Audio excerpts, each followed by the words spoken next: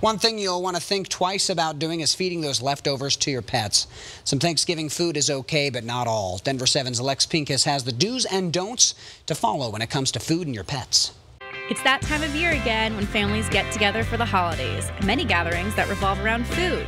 Now, while your mouth is already watering thinking about Grandma's pie, let's not forget about our furry family members, our pets.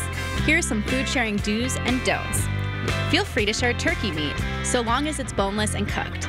Vegetables such as broccoli, cauliflower, carrots, celery, green beans, and sweet potato are all safe to eat as well. Lastly, bread and cheese can be shared, but make sure to share all foods at moderation. And here's some foods you should avoid. Though it may be tempting to treat Charlie to a turkey bone, don't. Poultry bones tend to splinter and to remove would likely require surgery. And while veggies are safe for pets, avoid ones that have been cooked in anything fatty, like butter or turkey drippings. This can cause stomach problems. Avoid grapes and raisins as they are poisonous and could lead to kidney failure. And though you may want to share dessert with your pet, chocolate can cause heart problems and seizures. Here's an idea. When your family's sitting down for a holiday feast, treat your cat or dog to a meal of their own. And for the full list of do's and don'ts, head to thedenverchannel.com. I'm Lex Pincus. Bon appetit!